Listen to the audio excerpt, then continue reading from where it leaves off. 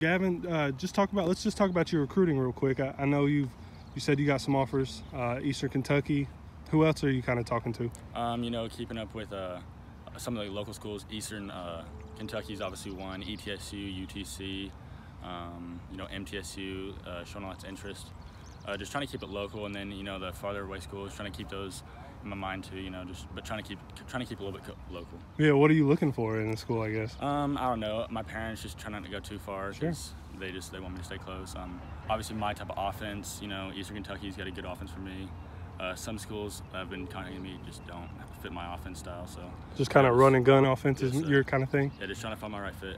Spread them out. Yes, sir. Ha- So as a quarterback, um, you know, replacing Gibbses that you had last year, Isaiah and Jaden, uh, how are you? Will you guys look to do that? Um, you know, uh, lost a lot of guys, but you know, I, I have a lot of faith in my guys this year. Um, a lot of scout team guys from last year, but they were they were a real good scout team. They they always give us a good look every single year, every single week, with new teams and different looks. But I think they're gonna do a great job. You know, we have athletes all, all the time. You know, um, so I think I think they'll do a great job. Something y'all are kind of used to. I guess it's just a next man up mentality a little bit. Yes, bit. sir. Yes, sir, for sure. Uh, like me, you know, uh, Max Travis, my sophomore year had an injury, had to step up. You know, did my job.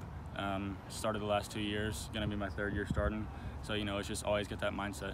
That experience, how, how great is that? Knowing, you know, finally your senior year, I guess, and to have already be starting for your third year. What kind of confidence does that give you? Uh, it gives me a lot of confidence. You know, uh, I gotta I gotta step up as a leader on this team, uh, lead everybody with a, a bunch of the new guys and stuff.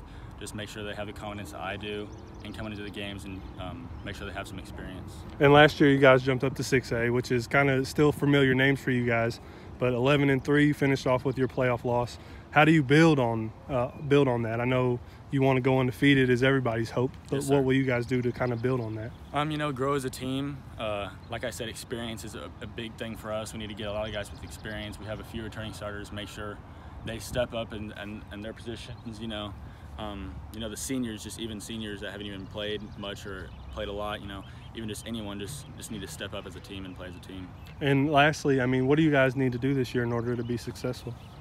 Um, just work as a team. Really, just uh, make sure we're running, running, throwing the ball. Have those two options like last year, Kyle Carter and Isaiah. Just always have that second threat to run the ball. And they'd cram it down their throat. We throw it out wide. Just always have that threat.